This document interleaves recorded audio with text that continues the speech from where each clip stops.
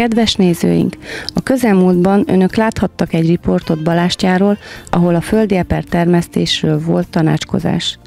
Ebben a riportunkban láthatták önök Nemes Nagy Zsolt urat, aki a Zsombói üvegházban mutatta be a földi eper termesztést a tanácskozás résztvevőinek.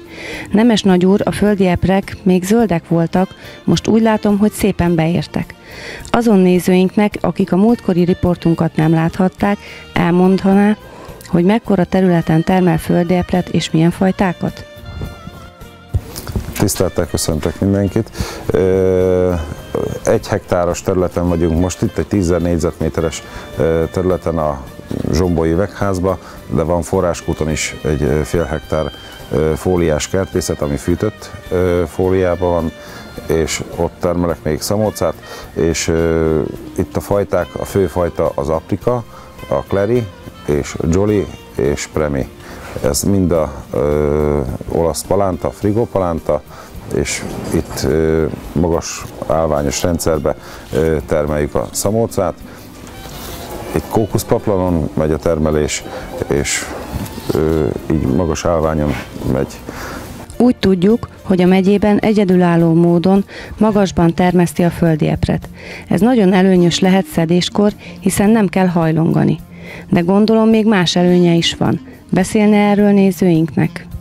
Igen, hát 130 centi magasan vannak az állványok, kókuszpaplamba, és a szedési könnyebbség, tehát itt nincs elveszett teper, itt megtalálunk mindent, és itt lányok itt a szedéskor megtalálják az összes epret, nem kell hajongani, sokkal hatékonyabb a szedés, és nem eszi meg a csiga, otitis, tehát más az ellenálló képessége, tehát sokkal jobban lehet tartani, tisztábban lehet tartani a szamócát, mint egyébként a talajon.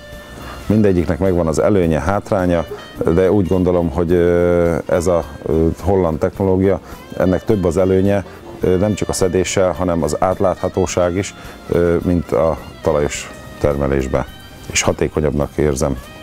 Nemes úr, mi a hátránya? Hát ez egy régi típusú üvegház, itten több a becsöpögő víz, talán egy-két helyen a Vápa csatornák alatt, ott nem mindig szerencsés a, éréskor a mm, szamócának ott lenni. Igyekszünk egy kicsit arrébb tenni, de több-több a rohadás veszély azokba a pontokba, tehát ez egy régi típusú üvegház, ezek a ilyen hozott anyag, ezt ezt korrigáljuk amennyire tudjuk, meg tehát egy fűtetlen formában megy az eper, és itt még annyi fejlesztést várok, hogy megfűtöm majd a csatornákat. Hogy melegebb legyen a paplan, egy kicsivel hamarabb tudjak lenni, egy-két héttel a piacon, mint a többiek, a főbű fóliás. Mert itt az üvegnek a jótékony hatása, a napfény sokkal jobban érvényesül, mint a fóliába. Nem szűri a fényt. Itt vakító napsütés, ami kell a szamócának, itt a mozog a levegő, alul-fölül, tehát elvileg jobb ez így, de még, még mindig lehetne egy kicsit ö, javítani rajta, és a jövőben pedig szeretném ezt a fűtést, ezt a vánkos fűtést megcsinálni, még hogy milyen formában, azt még nem tudom, mert van több elképzelés. A földi eper termesztést nagyon sok kártevő keseríti meg. Elég, ha csak a gombabetegségekre, a bronhitiszre és a lisztharmatra gondolunk. Ne is beszéljünk a rovarokról, mint például a takácsatka, trips és levéltető. Hogy tud ezek ellen védekezni? Az idei évben a Koppert céggel biológiai növényvédelmet közösen csináljuk, és én szerintem elég eredményesen.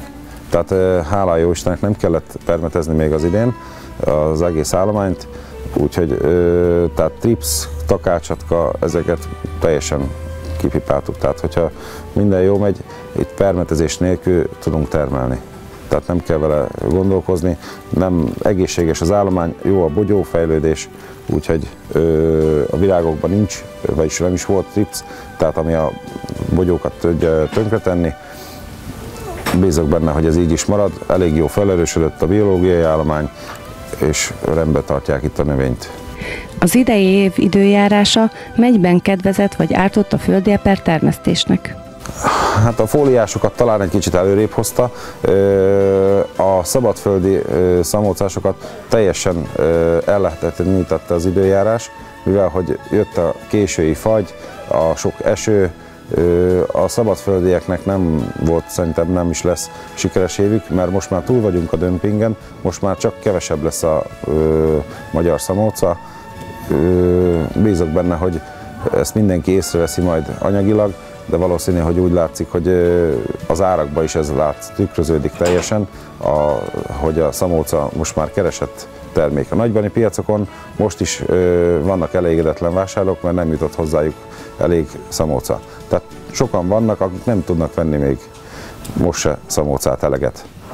Hála Istennek elég nagy a fogyasztásra, mindenkinek ö, van rá igénye, minden családban, minden napon, nap szeretne mindenki az asztalra tenni, szezonban olyan gyümölcsöt, ami, ö, ami szezonális. És az első hazai gyümölcsünk, ez a szamóca, és mindenki nagy örömére, és bízok benne, hogy ez így is lesz.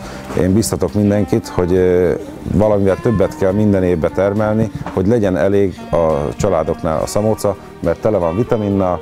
Ez az igazi első bogyós piros gyümölcs, ami nagyon egészséges és hazai. Tapasztalatai alapján megéri-e termeszteni a földi epret, versenyben tud-e lenni a déli beszállítókkal, a spanyolokkal és az olaszokkal? Elég nehéz a verseny megtalálni, de úgy érzem egyre több emberbe a hazai termék tudatosul, a tudatos vásárlás, ez nagyon fontos, mert a hazai terméknek van több vonzata is akkor a hazai embereket tartjuk el. Itt a munkáltató, én is tudok fizetni a munkásoknak, és itt hazai embereket kell ellátni, eltartani. Én nagyon szeretnék minél több ö, családot eltartani ebből, és szerintem más termelői ö, kollégák is, és megbecsülést érezni, ne kelljen itt másfele kacsingatni. Bízok benne, hogy ö, mindenkinek ö, ez lesz a szem előtt a vásárlásnál, hogy a hazai termék az hazai földön marad, hazai családoknál marad az összes bevétel. Nagyon nehéz versenyezni az importtal, mert olcsón itt van, de viszont az epernek órási romlási sebessége van, amivel ők hátrányban vannak, mert itt két nap az út Spanyolországból is, Görögországból is, és itt az ízharmónia, minden romlik, a minőség, és hiába kerül felébe, ott eléri az az ár a határt, mikor már a családok megengedhetik maguknak a szamóca fogyasztását, akkor viszont minden asztalon magyar szamóca van. Nemes úr, a tapasztalatom az, hogy a hazai földjepper édesebb. Miért? Azért édesebb, mert az éjszakai hideg sokkal jobban segíti a cukorbeépülését, és a hála Jóistennek a nappali meleg, meg a napsütés kell a bogyó fejlődéséhez. A szamócának meg az a mindene, hogy éjszaka 8 fok alatt legyen a hőmérséklet, nappal viszont napsütés és 20-22 fok.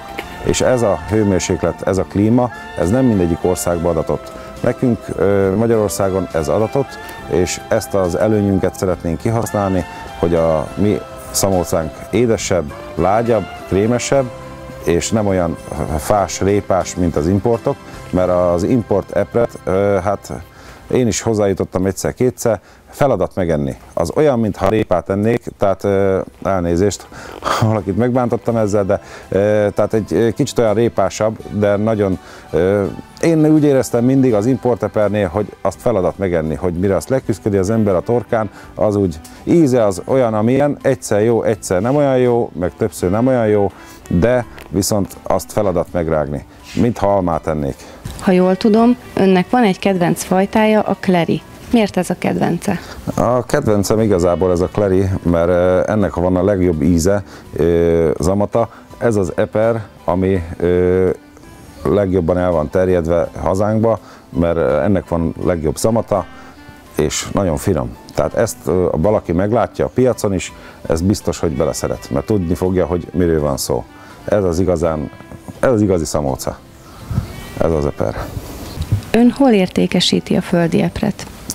Kezdetben a nagybani piacon értékesítem a földi epret, amikor már viszont elérem azt a mennyiséget, hogy most már be tudok szállítani multi áruházakba, akkor mindenképpen az áruházi értékesítés, ahol fixen el tudom adni a szamócát, több áruházba szállítok be, napi szinten, és ők stabilan vásárolnak, hát nem mindig a legmagasabb áron, de viszont a mennyiséget, míg tudom teljesíteni, minőséget, addig egymással ki vagyunk segítve, tehát meg vagyunk elégedve úgy gondolom egymással, mindegyik áruházlánca, és ők a fő piacon.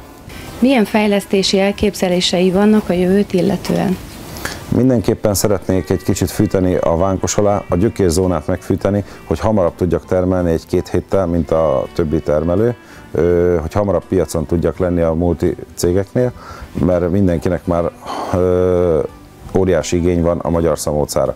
Szeretnék a multik is leváltani az importot, a spanyolt, az olaszt, a görögöt, még hamarabb szeretnének elindulni magyar eperrel, és a vánkosok alját szeretném megfűteni egy kicsit a gyökérzónát, hogy ez most napelemes rendszerrel, vagy gázzal, vagy akár szénnel, vagy mucsúval, ezt még nem tudom, de mindenképpen egy kicsi fűtést szeretnék adni itt a szamócáknak, hogy két héttel hamarabb tudjak lenni, és bízok benne, hogy mindenki megelégedésére tudom ezt teljesíteni.